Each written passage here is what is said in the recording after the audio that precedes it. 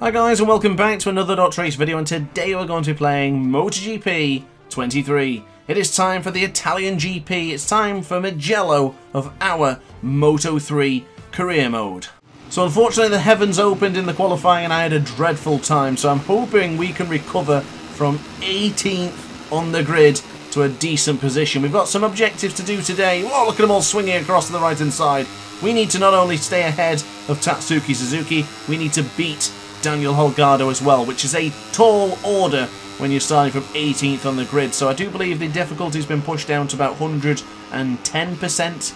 Oh, 105, one of those two. I couldn't quite get it 120, I just wasn't strong enough on the straights. I was losing a lot of time there, so unfortunately I had to balance the AI. So into the right hand side, we're getting pushed wide into Poggio Secco.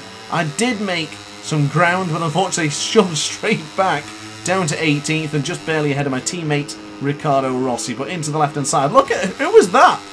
Who was that on the CMF Moto cutting the full apex? Someone's been sent to the distance. This is your typical Moto 3 race, ladies and gentlemen. Yellow flags are out already as we go into Casanova, and hopefully we can make that move on Jose Antonio Rueda for Savelli, but it didn't quite happen. But my goodness, what a start. Already up to 11th, so that's seven places gained to the early stage of this Grand Prix. But what the hell was going on on that first lap? Riders were just cutting corners, they were getting pushed off the track. Just ridiculous. So we have Farioli behind us, I'm going to try and avoid him and start attacking Rueda. Got a KTM triple here, a trio should I say, from Farioli. Oh, massive bump into Rueda. Didn't actually want to go for that lunge, but he looked like he, he just stopped middle, midway through the Palagio. I'm Not exactly sure what happened there, but into the right-hand side. Look at uh, Ayumu Sasaki going a bit deep. I think he might have had a helping hand from Jaume Masia. So into the left-hand side for Biondetti 1, and we attack the right-hand side for Biondetti 2 with sheer anger.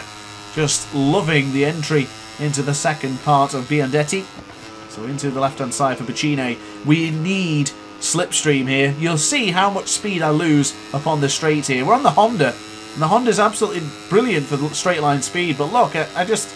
I was going to hope to drop to power setting 2, and I was hoping that would be enough to stay in the slipstream of Öncü, the recent Grand Prix winner, but unfortunately, it's not enough. I have to use power setting 3 for these long straights. This is going to be a tough job, this. Thankfully, the AI do struggle into San Donato, so I'm able to just take back a few positions, or at least temporarily, a couple of bike lengths. Tatsuki-san is now leading this Grand Prix, and he cuts our championship advantage down to 17.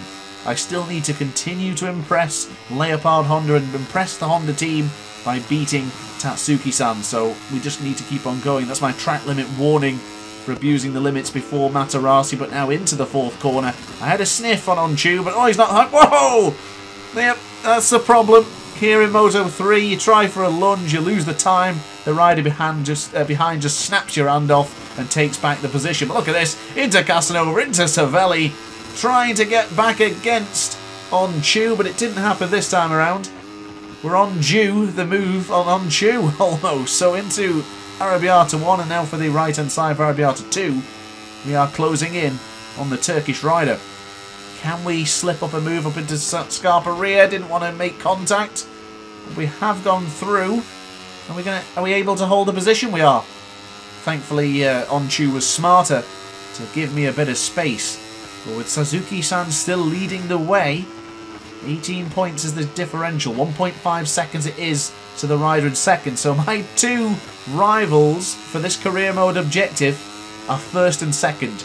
We are down in ninth. We have to really dig down deep here. But we did come from 18th. So already this is a victory. And if we're aiming... Oh, look at that move up at the inside of Masia. Beautifully done. He, he's going to annihilate me on this straight. He's going to absolutely dispatch me already as we even just look up on the straight.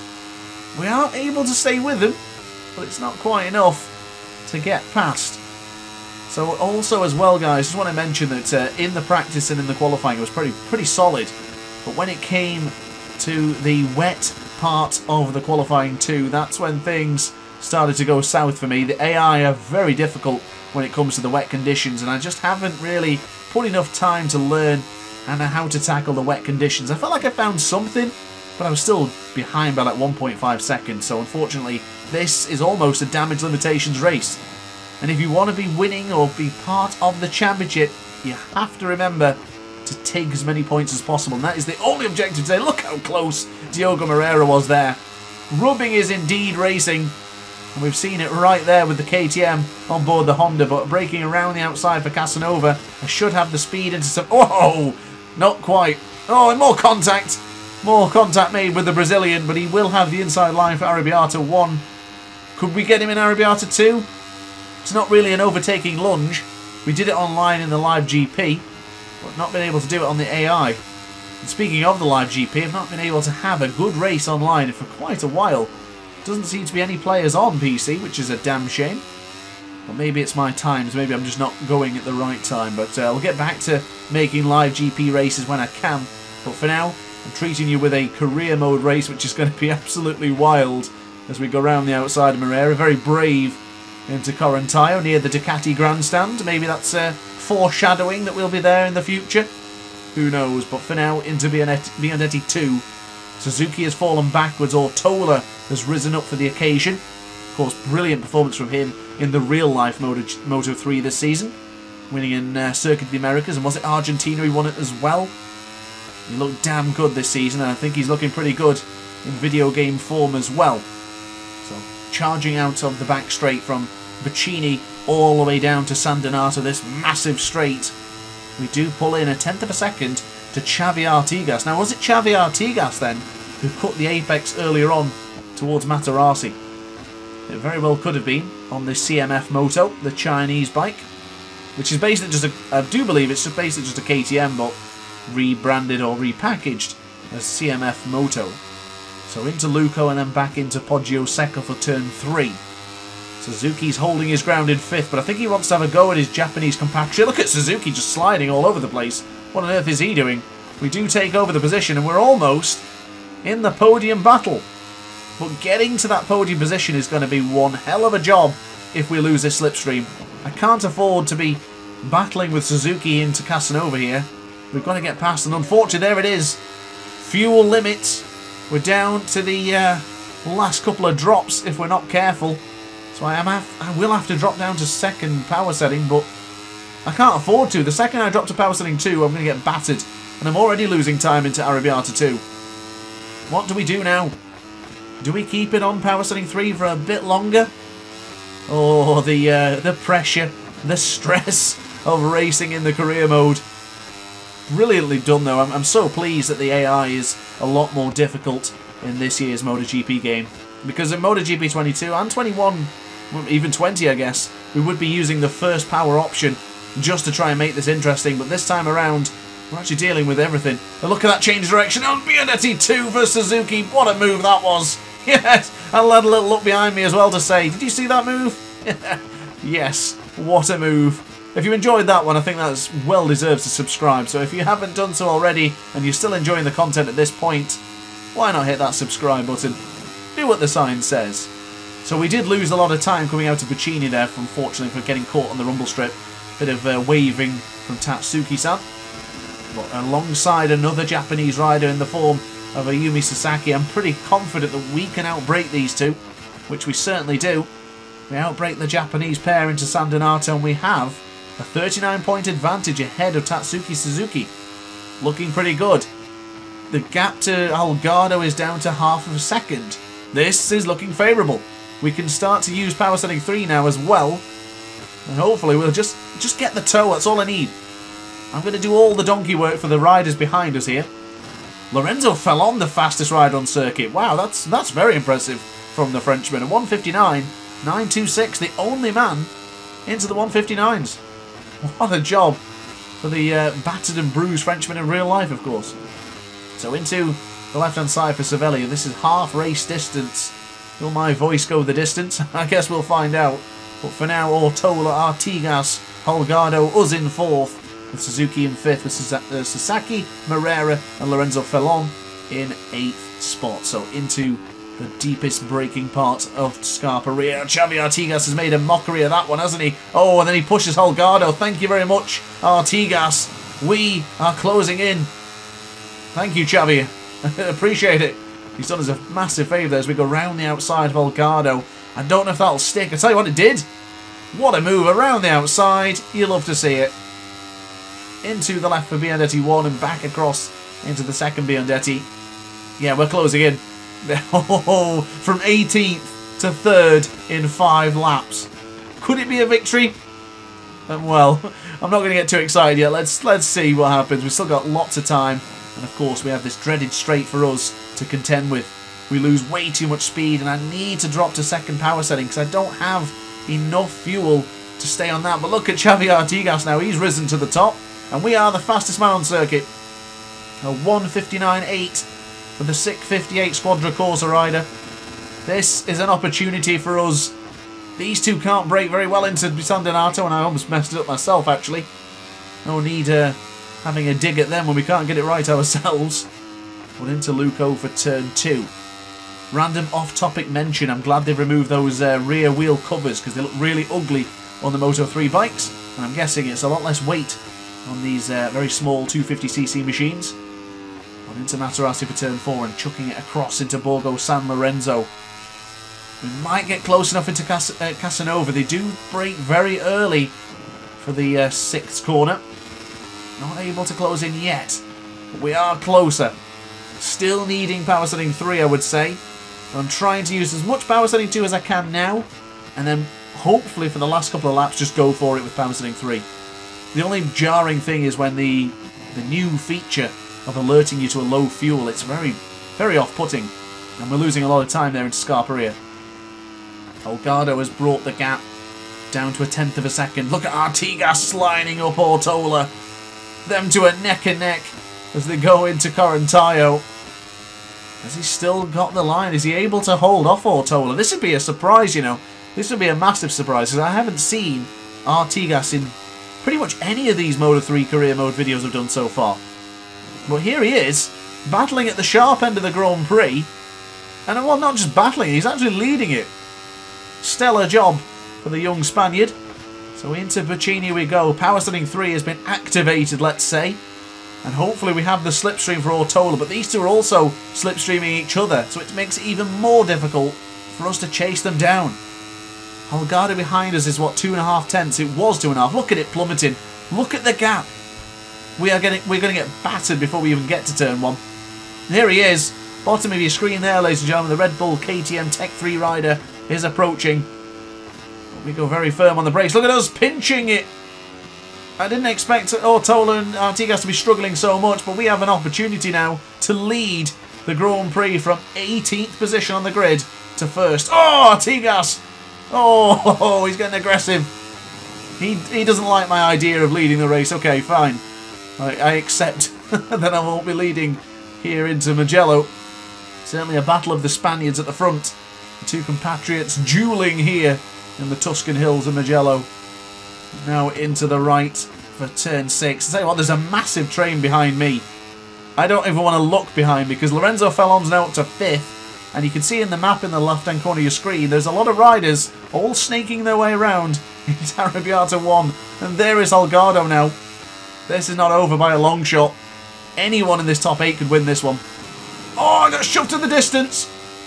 Holgado shoved us onto the rumble strip. Thankfully, it wasn't as abrupt or as egregious as it was in MotoGP 22 because it really sends you bouncing around there. Ride 4 was also the same issue in that corner we're all right. We're still on board the bike and we're still pushing with all of our might. Now, I did take a small gamble with the soft rear tyre. Is that a big mistake? I guess we'll find out. I don't think it is because it's roughly about on par with the medium front. It's just that it's getting warmer and the less feeling and the less momentum you're able to get from that tyre will cost us dearly into a corner such as Bocchini got to get it right. We've got to stay within these two because if I just get the slipstream, we'll easily outbreak them into turn one. But from this distance, I've got to do a massive lunge and it's not worth it. It really isn't. This is damage limitations this race. I wasn't even expecting to be battling for the podium. Never mind potential race victory. Let's just go, let's go for it though. Let's try it. We're breaking as late as possible towards those Oakley signs. A bit wide into San Donato, then we can go for the tight apex. Artigas gives Ortola a punt, and we are right on the cusp of getting into this fight. This is brilliant. What a race this has been. One of the best suggestions we've ever done with the comment section is listening to you guys about making this a 50% race length video. It's more effort, believe me, a lot more stressful, but it's certainly worth it when we get races like this as Ortola gets pushed off the track. Would that be a penalty in real life? They seem to be handing them out left, right and centre at the moment. Whoa! Super tight to the apex. We're closing in. If we can stay with Artigas and he pulls us forward, we should avoid the riffraff behind as Ortola there. He's really close. I think he might get me into Arrabbiata too. Give him the space, I think. Yeah, let him through. I can't contend with that. I cannot fight that corner speed. That's sensational. Brilliantly done from Ortola. He's, he's not giving up. It looked like he was dead in the water a moment ago when we came out of uh, Luco, but here he is again. Certainly not giving up. In fact, it was, uh, was it Burgos San Lorenzo? That's the corner where he got caught up in. I'm going to go around the outside of the Spaniard and position myself in this Spanish sandwich. Into, temporarily anyway, at least, because Ortola flew straight back ahead. But into Biondetti 1. Back into the right-hand side. Of course, this is where Rossi crashed many years ago, damaging his tibula fibula. I don't fancy thinking about that right now, but it's worth mentioning because that's uh, probably the most iconic part of that corner. And of course, the battle between Lorenzo and uh, Marquez all those years ago. But I'm still in Power Setting 2, and I have some slipstream here. Even with Power Setting 3, am I able to pass him? We're just neck and neck. I can't get past him. We're just trending at the same speed here. We can't get past, but I do believe I've got enough fuel now to stay on Power Setting 3 for the rest of this race. This could be massive. This could be monumental for our opportunity to race to get the race victory. So into turn one, Xavi Artigas leads by three tenths of a second. We're not close enough yet to go for it. look at him having a look behind him. It's the worst animation in MotoGP that it's still here. No rider would ever look behind that much unless he's just full of confidence right now. Ah, Artigas getting cocky here in Mugello. Change of direction into Borgo San Lorenzo. Thank goodness we positioned ourselves ahead of Ortola there because he would have made me pay for that late manoeuvre into Materassi. And into turn 6, we're closing in, getting really tight to the apex now. If I'm not careful, if I touch the apex for Casanova, that's it, it's good night Vienna. I need to be really careful here, but I'm just pushing so much to stay within range of the Spaniard ahead. I'm going to have to... Oh, that's not good. Oh, oh, we're pushing. Yeah, this is getting really scary now. We're just risking everything for a potential race victory here. I really don't need to be doing this. Artigas is not a championship contender at this stage of the championship. We're getting caught on the green now. Look at the determination. I'm just desperate to chase him down. 18th to first would be just incredible. Just absolutely fantastic. And this is what I want to do here today. It'd be Brad Binder-esque here in Mugello. Eight tenths of a second is the gap. I don't think it's going to happen, but I, you better believe I'm going to try. I've got enough fuel to stay in power setting 3 now, I believe. Unless we get that warning, I'm going to stay as where we are. 49 points separates us and Suzuki, and in fact, the early race leader Tatsuki Suzuki is not even in the top 10. What has happened to the Leopard Honda man? What has happened to his teammate as well? No Jaume Masia in the top 10 either. Well, good to see teammate Riccardo Rossi in 8th there, but here comes Ortola. He's had the slipstream. Is he going to break us on the brakes? I don't think he is. This time it's Ozu with the last of the late breakers. Oh, Artigas makes a mistake. We, oh, we almost pinched it. I need to fight back here. We've got to get him here. The AI can just pull away at any point, so we've got to go for it. Materassi will be a great opportunity. Is Artigas having tyre trouble? Or the weather's not looking too great either. Could this be a wet flag, a wet weather situation? Well, we got the lunge! Into Materassi, we've got it! Ah, oh, pushing back! We've got the lead, but there comes Ortola. He's firing through. And now it's down to us three. What looked like a clean and comfortable victory for Artigas is now exploding between many riders with a battle for the victory. I'm going to fight back against Ortola. Have a bit of that, son. It's our lead now, 18th to 1st, here on the final lap in Mugello. Does Ortola have the lunge? He certainly does. Artigas is going to go through as well. I can't fight back into Arrabbiata. I've got nothing left on the right-hand side. Whoa! Almost there. Lorenzo Fellon is now up into the top four. What is going on here in Mugello? This is sensational. I'm giving it everything I can, but from 18th all the way up to 4th. Uh, this has been a brilliant race, but I want that victory. Am I close enough? Heart rate's pounding now. Is it going to... Oh, big bump. in Talgado. Gesticulation from both of the riders. Not happy with that contact as Artigas is right back where he wants to be. If you're in any situation right now, this is where you want to be. You want to be in second. You want to get that slipstream and just go for it. I'm going to go for the latest lunges ever here as we go into the left-hand side. Too tight to the apex. We bump Artigas out of the way. He's not happy with that lunge. Ortola may have just pinched this one. I'm desperate for the slipstream here with power setting 3. I can't even pull out the slipstream. He's too fast. It looks like it's going to be a third place. Or maybe. No, across the line it's going to be Ortola. What a race. What a phenomenal battle. I really blew it for Artigas in the final corner there. But that was a battle and a half. Goodness me. So Ortola does take the victory by two tenths of a second ahead of us. But Artigas does take second place. So he takes the 20 crucial championship points. And very importantly, we did manage to get both objectives done there from Suzuki and Holgado. And from 18th to 3rd is nothing to scoff at. What a race. So we do extend our championship lead after losing points last time out to Holgado. We are now leading by 20 championship points. And the interesting part there is Ivan Ortola and Xavi Artigas with such a great performance there aren't even in the top five in the championship yet. But rest assured, if they keep racing like that, they soon will be. So there is the team's championship. Jaume Masia and Suzuki leading the way with the Leopard Racing and Riccardo Rossi helping me out in this race today. We've closed the gap down to 18 points. But guys, that is it from me. Thank you very much for watching the video. I do hope you enjoy the Spin 8 super, super race. And I hope to see you in the next one very, very soon. So guys, don't forget to like, comment and subscribe. Be sure to consider joining the Dr. Ace Pit Crew if you want to be part of the team. And that's it from me. So thanks for watching. Ciao for now. Oh hi! Didn't quite see you there. Good to see you're still here. If this video didn't quite set your appetite, then why not watch some more Dr. Ace content by clicking the video shown on screen now. Furthermore, if you would like to follow me on social media, you can do so now with the links down in the description. Consider subscribing so you don't miss a single Dr. Ace video.